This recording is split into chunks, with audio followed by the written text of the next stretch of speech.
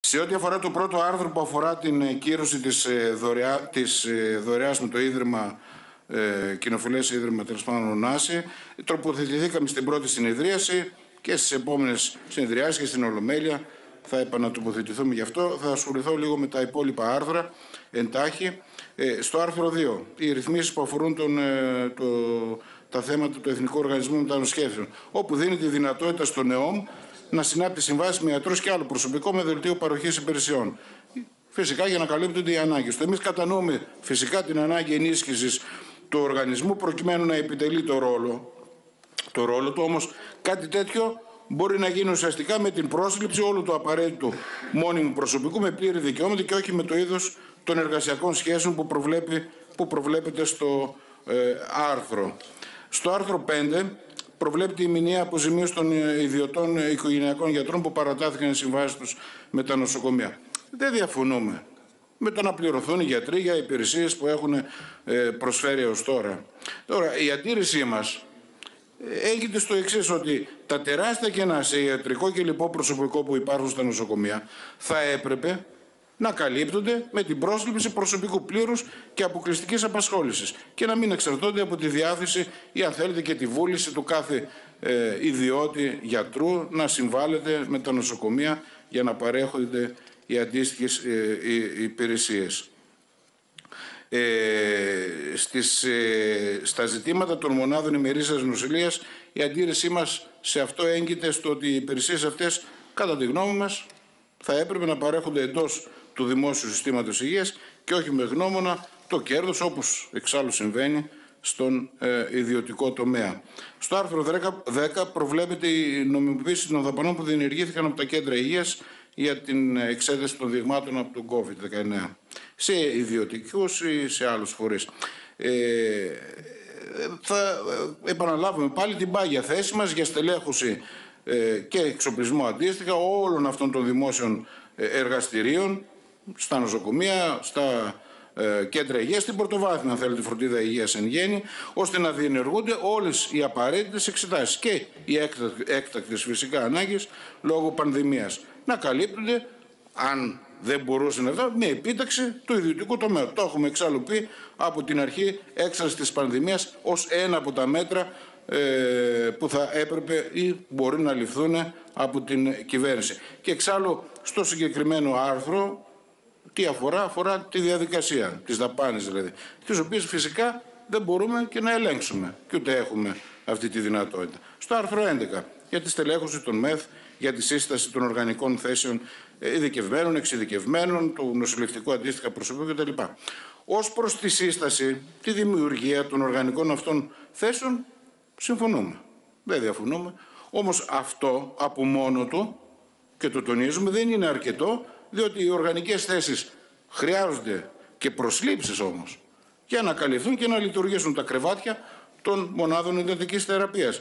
Και ε, αυτό με τη συγκεκριμένη ρύθμιση δεν υλοποιείται αφήνεται γενικά και αόριστα στο μέλλον. Εξάλλου, για παράδειγμα, όλα σχεδόν τα δημόσια νοσοκομεία, αντίστοιχα δημόσιες μονάδες υγείας, έχουν μεγάλο, αντίστοιχα μικρό ή μεγάλο καθένα, αλλά ε, στο, σύνολο, στο σύνολο, στην επικράτεια, υπάρχει ένας τεράστιος αριθμός κοινών θέσεων. Εδώ και χρόνια. Ακόμα και μετά τους τα κουτσουρεμένα, επιτρέψουν την έκφραση, οργανογράμματα του, από το 2012 που υπέστησαν ε, τα οργανογράμματα δηλαδή, των νοσοκομείων. Έτσι λοιπόν σχεδόν σε όλα τα δημόσια νοσοκομεία υπάρχουν κοινές οργανικές θέσεις, αλλά αυτές δεν καλύπτονται, παραμένουν ακάλυπτες μέχρι τώρα. Ε, σε ό,τι αφορά το άρθρο 12 για τις ρυθμίσεις οφειλών των κατόχων ΚΑΚ φαρμάκων. Εδώ δίνει τη δυνατότητα τι, στους φαρμακοβιομήχανους που οφείλουν ποσά αυτόματης επιστροφής να τα εξοφλούν σε έως και 36 δόσεις. Και πρόκειται για άλλο ένα δώρο της κυβέρνησης προς τους φαρμακοβιομήχανους. Μπροστά σε όλα τα άλλα δωράκια που κατά καιρούς έχει κάνει και η παρούσα κυβέρνηση στον ένα και πλέον χρόνο, αλλά και οι προηγούμενες και η προηγούμενη κυβέρνηση όπως και οι προ προηγούμενες. Και μάλιστα αυτό γίνεται τη στιγμή που άνθρωποι από τα φτωχά λαϊκά στρώματα τρομάζουν να μπουν σε ρύθμιση ή σε ρυθμίσεις για οφειλές τους στο δημόσιο αλλά και ε, αλλού. Στο άρθρο 15 το όριο φαρμακευτικής δαπάνης στο ΕΠΗ. Εδώ πρόκειται για ρύθμιση με την οποία αυξάνεται το όριο της φαρμακευτικής δαπάνης, πέραν το οποίο ενεργοποιείται το clawback. Ακόμα ένα δωράκι στου φαρμακοβιομήχανου. Και δείτε, αυτή η πολιτική, ε, αυτή η πολιτική των όριων έχει οδηγήσει πού; Σε γενικευμένες περικοπές και πλαφών στις παροχές υγείας. Στην αύξηση αντίστοιχα των πληρωμών από το, από το λαό, από τα λαϊκά στρώματα, τους εργαζόμενους.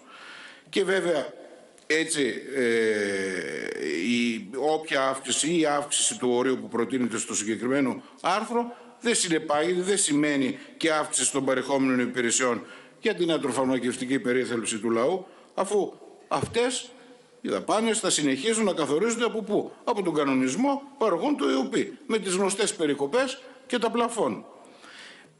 Έτσι, ε, οι εργαζόμενοι θα συνεχίσουν να έχουν τις ίδιες ανεπαρκείς ή και λιγότερες υπηρεσίες υγείας και αυτοί που θα ωφελούνται, που ωφελούνται αλλά και θα ωφελούνται είναι οι επιχειρηματικοί όμιλοι είτε στο φάρμακο είτε στους άλλους ε, κλάδους της ε, υγείας. Στο άρθρο 16 για τις δαπάνες των συμβεβλημένων και μη συμβεβλημένων του ΕΟΠΗ. Δείτε τώρα, εάν η παράγραφος 1 ήταν ξεχωριστή, από μόνη της ερχόταν ως άρθρο, εμείς θα την υπερψηφίζαμε. Όμως έτσι όπως έρχεται το άρθρο και συγκεκριμένα με την παράγραφο 2, εκτιμάμε ότι θα υπάρξουν νέοι δικαιούχοι θεραπείων που για αντικειμενικούς λόγους δεν θα μπορούν να βρουν συμβεβλημένο ε, φυσιοθεραπευτή, φυσικοθεραπευτή. Και θα αναγκάζονται φυσικά να πληρώνουν από την τσέπη τους για τις απαραίτητες θεραπείες.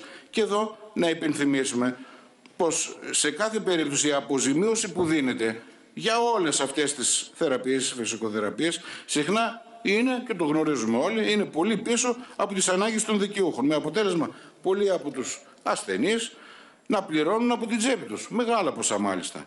Και άλλοι φυσικά μην μπορώντας να αντέξουν το κόστος να κάνουν σκόντο ή αν θέλετε να έχουν πλημελή από θεραπεία ή ε, θεραπεία του, του προβλήματος ε, υγείας τους. Ε, αφήνω τα άρθρα 17, 18, 19 που είναι για το προσωπικό, για αγορά φαρμάκων του ΙΦΕΤ κτλ. Ε, στο άρθρο 20 ε, βάλαμε ένα ερώτημα χθες, απάντησε ο Υπουργός θα, με μια νομοθετικά, θα καταθέσει νομοθετική ρύθμιση όπου θα προβλέπεται και η αναδρομικότητα στην παράταση των, ε, στη, στη συμβάση του επικουρικού προσωπικού ε, προηγούμενου διαστήματος. Μένει να τη δούμε. Ε, εμείς λέμε ότι όλοι αυτοί χρειάζονται, όλοι αυτοί οι εργαζόμενοι, γιατί δείτε τώρα, δεν προσλήφθηκαν έστω και με αυτόν τον τρόπο με αυτές τις εργασιακές σχέσεις την περίοδο του κορονοϊού, έτσι δεν είναι αφορά εργαζόμενους οι οποίοι προσλήφθηκαν την περίοδο προ-κορονοϊού για να καλύψουν τεράστιες ανάγκες, τις πολύ τεράστιες ανάγκες του Εθνικού Συστήματος Υγείας, του Δημόσιου Συστήματος Υγείας, την περίοδο εκείνη. Πολύ δε περισσότερο αυτή την περίοδο που διανύουμε με την ε, πανδημία ή το δεύτερο κύμα της πανδημίας, αλλά και το επόμενο διάστημα που θα χρειαστεί ακόμα μεγαλύτερο, ε, μεγαλύτερη ενίσχυση ε, σε αριθμό, σε δυναμικό το σύστημα υγείας και όχι μόνο τα νοσοκομεία αλλά και κυρίως η πρωτοβάθμια φροντίδα υγείας. Και βέβαια η κυβέρνηση και η σημερινή συνεχίζει επεκτείνοντας το καθεστώς της ανατροπής δηλαδή των εργασιακών σχέσεων παράλληλα της εργασιακής ομοιρίας αλλά και της διαμόρφωσης ενός βαθύτερα ενός ευέλικτου και βαθύτερα εκμεταλλευόμενου υγειονομικού προσωπικού. Και αυτό αντιστοιχεί με την πολιτική περιορισμού των περικοπών των κρατικών δαπανών αφού το επικουρικό προσωπικό εξάλλου ε, μισθοδοτείται από τα έσοδα των δημόσιων μονάδων υγείας. Δημιουργείται να λοιπόν πως και με αυτόν τον τρόπο, όχι μόνο με αυτόν, αλλά και με αυτόν τον τρόπο δημιουργείται το περίφημο περίσευμα και ο δημοσιονομικός χώρος για την στήριξη, για την επιπλέον μάλλον στήριξη των επιχειρηματικών ομίλων από τον κρατικό προϋπολογισμό, τον κρατικό κουρβανά, προκειμένου να τονωθεί τι, η περίφημη ανταγωνιστικότητα και αναθέρμανση της κερδοφορίας της. Και αυτή είναι η αιτία όλων των ε, δεινών που ταλανίζουν το λαό μας όχι μόνο στο ζήτημα της υγείας αλλά σε όλα τα ζητήματα που τον απασχολούν. Ε, και μάλιστα είναι και πρόκληση να, ε, η επίκληση ε, ενδιαφέροντος για τους εργαζόμενους που ακούγεται κατά καιρούς, για τους εργαζόμενους γιατρούς, για τους ασθενείς, όταν με τις τεράστιες ανάγκες σε προσωπικό στις δημόσιες μονάδες υγείας εφαρμόζεται αυτό το μαρτύριο, θα το πω έτσι, το μαρτύριο της σταγόνας με το καθεστώς δηλαδή αυτών των εργασιακών σχέσεων ορισμένου χρόνου εργασίας, της εναλλαγής μεταξύ του απασχολήσιμου και του ανέργου, με την υποστηλέχωση των νοσοκομείων και των κέντρων υγείας και με τους ασθενείς φυσικά να βρίσκονται, να υπόκειται μάλλον σε μακροχρόνια ραντεβού για μια εξέταση, σε συνθήκες πολέμου, να αντιμετωπίζουν τις συνθήκες πολέμου σε εισαγωγικά ελέγξει στις εφημερίες και βέβαια να δημιουργείται και κίνδυνος ε, συγχρόνως για την ε, υγεία τους. Ε, και κλείνω κύριε Πρόεδρε, ένα λεπτό μόνο θα ήθελα, με το άρθρο που αφορά τις ε, ε, ρυθμίσεις των θεμάτων Εθνικής Αρχής ε, ιατρικός, ιατρικός υποβοηθούμενος αναπαραγωγής. Δείτε, οι θεσμικές αλλαγές, αυτό προτείνεται εξάλλου, ε, στην Εθνική Αρχή Ιατρικός Υποβοηθούμενης Αναπαραγωγής πραγματοποιούνται όχι σε ένα ουδέτερο περιβάλλον, σε ένα συγκεκριμένο περιβάλλον, οικονομικό και πολιτικό. Ε, του συγκεκριμένου τομέα της ε, υποβοηθούμενης αναπαραγωγής, που τα βασικά χαρακτηριστικά του είναι τι; Η ανάπτυξη της ιδιωτικής, επιχει... ιδιωτικής επιχειρηματικής δράσης. Σε συνδυασμό με την υποβάθμιση όμως τι, των παρεχόμενων αυτών υπηρεσιών από το δημόσιο τομέα.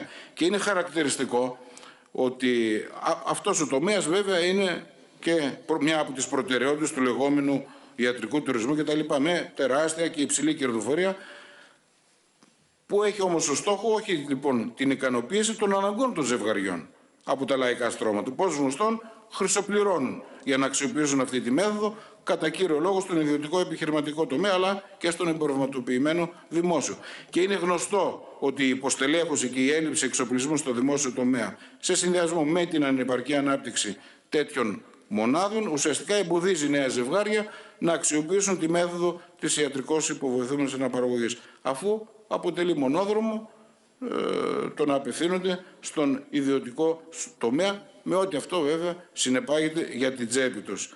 Έτσι λοιπόν οι αλλαγές αν θέλετε που προτείνονται στο συγκεκριμένο ε, άρθρο, οι θεσμικές ε, αλλαγές δεν πρόκειται να αλλάξουν την ουσία όσων αυτών δηλαδή αναφέρθηκα ε, παραπάνω.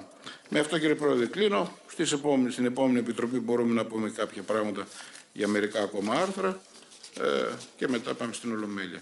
Αλλά θα ήθελα από τον, ε, από τον Υπουργό να μας απαντήσει, ε, απάντησε μάλλον, αλλά να κάνει πιο συγκεκριμένο. Και εδώ επιτρέψτε μου, ε, κύριε Πρόεδρε, επιτρέψτε μου επειδή το, ε, το ξέχασα. Δείτε για το άρθρο 20 που είπατε για την αναδρομικότητα.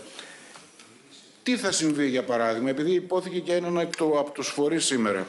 Τι θα, τι θα συμβεί για παράδειγμα σε αυτούς τους εργαζόμενους; Είναι 300 τον αριθμό. Έχω συγκεκριμένη ενημέρωση. Αν είναι έτσι, διορθώστε. Αν δεν είναι έτσι, διορθώστε. Από τον διαγωνισμό της 2K εκκρεμούν πίνακες. Αυτοί οι εργαζόμενοι δουλεύουν εδώ και 1,5, αν δεν κάνω λάθος χρόνο, 1,5 χρόνο περίπου και ίσως και παραπάνω. Λοιπόν, οι οριστικοί πίνακες όσον ούπο ή ενδεχομένως το άμεσο διάστημα θα βγουν. Κάπου 300 είναι εκτός. Ήδη εργάζονται. Αυτοί δεν χρειάζονται. Αυτό είναι το ερώτημα. Αν δηλαδή θα συμπεριληφθούν και αυτοί στους εργαζόμενους που θα συνεχίζουν έστω με αυτού του τύπου τη σχέση εργασίας που ε, προσλήφθηκαν.